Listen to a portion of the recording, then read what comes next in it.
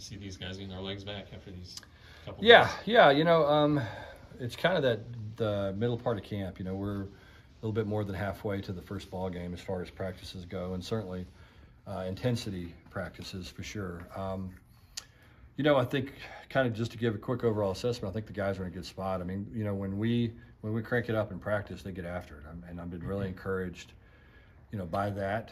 Um, you know, I think learning to practice is always one of the most important things you can teach your football team, and uh, it's so important to get good quality reps out there, and, and we're getting it, you know, consistently. And so I'm, I'm feel really good about the work that we've gotten so far. Uh, we're a little banged up. I wish we were a little less banged up, but that's part of this part of camp. Um, took the shoulder pads off today. You know, today originally schedule-wise was designed to be a scrimmage day, but I felt like we've gotten enough contact coming in today. Felt like it needed, uh, you know, we needed to make an adjustment and get some guys back healthy. They'll have a day off tomorrow, and then a little bit more kind of house cleaning items. You know, we'll start to have some um, some practices are going to be a little bit more uh, trying to simulate game situations in the stadium. Uh, a lot of um, situational type things, special teams, and and uh, and just game stuff as well. So, you know, that's kind of uh, where where this thing's headed to, to, do a lot of that stuff generally, and then we'll start focusing, uh, you know, on Colorado the end of next week. So that's kind of the way this thing's starting to line out. And again, feel really good about where we are, and very impressed with the work ethic and the amount of work that we've gotten done, and really like the way the guys are practicing. One of the things you were kind of looking forward to was seeing who would kind of maybe come out under the radar and kind of be a surprise. Who are some of those guys that kind of caught your attention? Well, I think the last five days, I think Savion Williams has really um, done a fantastic job. I mean, he's, he's playing like we hope he would. Um, you know, he's coming off of an injury that, quite frankly, we thought would sideline him until probably midseason, and he bounced back really quickly. Um, and you know, came back in first couple of days, he was filling things out then he's hit his stride here recently. He's starting to make a lot of plays. I think playing with a lot of confidence. I think the quarterbacks are starting to really get confidence in him as well. Um, so I'm starting to like that. You know, uh, the two freshman defensive ends have both been really impressive. Um, you know, Mike and Paul, those guys have, I think, have exceeded our expectations uh, in terms of, of, making plays and doing stuff. Um, you know, Bud Clark's had a great camp. Um, you know, been been really impressed with uh, Josh Newton, what he's done, the consistency and the effort that he practices with day in day out. Um, you know, so there's been a lot of kind of pleasant things that have happened. Um, you know, Shad Banks, I think, starting to do some good things here and there at linebacker, starting to show up a little bit more. Um, you know, just pleased overall with the development of the offensive line, starting to see some depth. And, you know, we've bounced guys from position to position to position, which I think, again, our job is to, to always find the best five and get them on the field and to try to be unique and prepare them for that. And, and I think we've accomplished that to this point. Um, you know, quarter the one the Trent Battle's been a big surprise as well. You know, his consistency has been um, has been really good. He's been very productive. You know, so uh, there's there's quite a few guys that come to mind. Really like what we're seeing out of the group, and and um, you know, and really like the again the consistent effort that we're getting day in day out in practice has been really good. Coach, you mentioned the the injuries. Is there legitimate concern there? Or is this some no, of that no, precautionary? It's, no, it's it's you know there's couple guys here and there that are coming off of stuff that's, um, you know, that um, takes a little bit of time. I mean, it's nothing. I, I, right now, you know, the way I look at it and and see it. I mean, I don't see anybody, maybe with the exception of Marcel, that won't play Week One at this point. So, you know, that's good to to, to feel that way at this point of camp.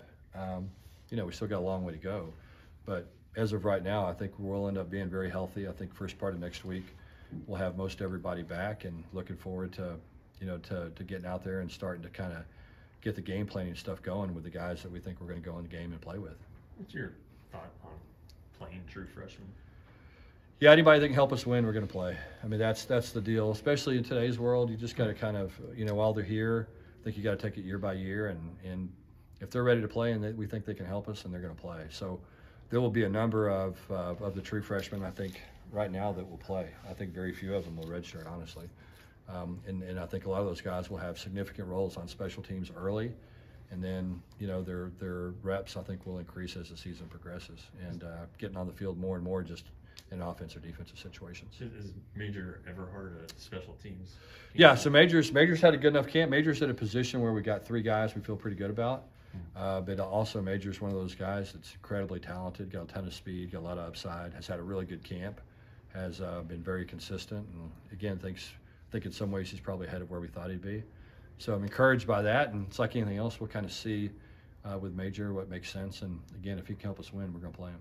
What about uh, Jordan Hudson? I know you have a lot of depth at receiver. Yeah, no, Jordan will definitely play. Yeah, yeah expect Yeah. Jordan to Oh, play. Yeah. Expect Jordan to play significantly, and um, you know, on teams, and also you know, be in the rotation. Coach, you've done this for a long time, coached a lot of good quarterbacks. Is it fair to say that this quarterback battle is probably one of the tougher ones you've had to watch? No, no, not at all. I mean, I think you know, there's been ones where, uh, quite frankly, that we've, you know, had quarterback competitions in the past where, you know, it was more of uh, survival than it was a competition. You know what I mean? In other words, it was just like, who can be the least bad. Um, and so, you know, that's been that's you know we've dealt with that from time to time and year to year, and then, you know, somebody wins the job, and then you manage those guys, and that's just the way it is. Um, but the good thing is, I don't feel that way at all. I mean, I, I'm very optimistic about about our quarterbacks and whoever it is that goes out there and plays. I have a ton of confidence that they're going to play at a very high level. So I'm not worried about the position at all, honestly. I mean, um, I feel really good about it. I have a ton of confidence in those guys. I think the players do as well, and uh, and and I think that's more important, honestly, than it is, um, you know, how I feel about them. And you know, and I see good things from those guys all the time, and I'm talking like high level good things on a daily basis. And so, you know, it's like anything else. We're just trying to see which one moves the team the best, manages the game, you know, doesn't turn the ball over, um, and and you know makes plays. And so, but I feel confident about uh, two of them for sure, and and I get more confidence every day about Sam. You know, and so I like the position. I think we're going to be good at that position. I think it's a it's a battle of good players, and uh, and so I'm I feel really optimistic about it. So is your is your timeline for that for when you start prepping for Colorado? Yeah, yeah. I mean, it's same old deal. You know, we'll figure it out. Kind of see see where it goes. Um, you know, we'll we'll talk a little bit about that tomorrow. Quite frankly, I haven't really talked about it much as a staff up to this point. Um, we'll we'll have some meetings tomorrow. We'll do a mock uh, travel squad. We'll talk about some depth chart stuff tomorrow. It'll be the first time that we've looked at talked about a depth chart. Quite frankly, as a coaching staff, and so we'll do that tomorrow. Um, as, as the day off goes, and and then you know the quarterback conversation will happen a little bit tomorrow, and then we'll evaluate it and see, you know, and kind of see see where it goes from there. Could it be settled tomorrow? I don't know. I mean, we'll, I don't. Maybe. your guess is as good as mine. Well, I think your guess is a little better. How uh, this is a, t- a question outside of TCU. How concerning is it to see kind of the trend of the, the quarterback battle? He loses, and now now we got guys leaving camp. You know, how hard is that to manage? a Yeah, roster? yeah. You know, that's it's that's a little discouraging. I mean, I think I don't know. I don't know really know what to make of that. I mean, again, I think sometimes, you know, we sit back and we look at situations and we make judgments and we don't really know what's going on. You know what I'm saying? And so, uh, you know, the LSU deal is, I'm sure, what you're referring to, and and so. I don't really know what happened there. I don't know what the situation is. I know that they have three quarterbacks. It was kind of a three quarterback battle. One of them had some snaps there, and some other guys didn't have many or any. Uh, but beyond that, I don't really know. And so I think, I mean, I think that there's obviously all these things are considerations. You know, at the same time, you know, you always want to do what's best for the players. In other words, if if if we had come out of spring and one of the quarterbacks, we knew he was going to win the job, we would have, you know, declared a quarterback competition over, had a quarterback, let the let the backup know what's going on, and and then make decisions that are appropriate and good for for their well-being. Um, but you know, I, I, I there's it's always a concern, but I think, you know, just knowing these the guys on our team, um, I, I just don't think that's going to happen. Um, but it is kind of big picture stuff. It is a little concerning and worrisome, you know. And I think for us as coaches, so much of what we used to do was roster management and projecting.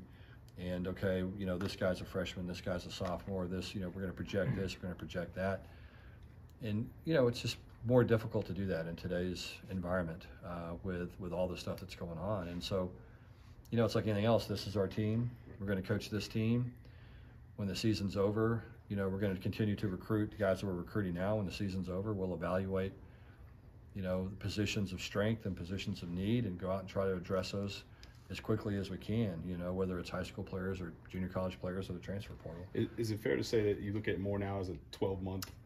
Oh, I look at it as a 24 hour deal. You know what I'm saying? I mean, I wake up in the morning and you coach the guys that are here. You know, the good thing is we haven't had any kind of issues with that at all during fall camp, and I don't anticipate we will. But I think, you know, it's a 24 hour deal, and it is what it is, and and uh, you just have to adjust and look at it that way, and again, figure out how to make it work for you.